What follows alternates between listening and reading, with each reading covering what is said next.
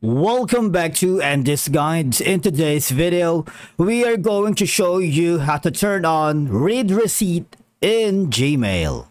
Let's begin. Now, the first thing that you need to do is to log in using your credentials. If this is your first time on Gmail, I need you to click on the create an account option.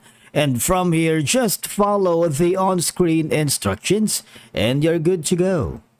Enabling read receipts, also known as read confirmation or read tracking in Gmail, is not natively supported as a built-in feature like in some other email clients that you may be using.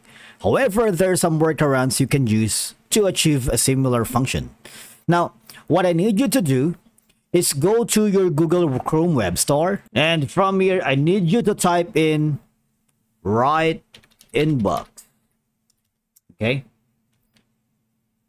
Now you see in Right Inbox, when you click on it, it can send emails later, recurring emails, notes, follow-up emails, templates, signature, and more.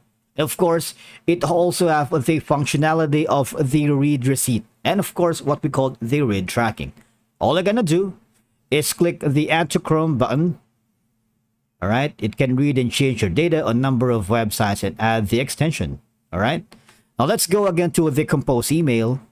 Now, you see, when we turned on the Chrome extension off of the right inbox, you would have an option that there's going to be a green options at the bottom. You see, there is um, send later, the track clicks and track opens, all right? And of course, um, some other features for the uh, reminder, return to inbox, put it at the top of inbox, and recurring, all right? Now, now, you need to make sure that on the track clicks and track opens, you would have an access on how many times your email has been uh, clicked and open. In that sense, you would have a read receipt and read email tracking, all right? If you don't want this right inbox, another option that you can choose is, now here, all you have to do is type in email tracker. Obviously, that's going to be for Gmail, and similarly to the right inbox, all you're gonna do is click on the add to Chrome because email tracker and mail merge with over 2 million active users.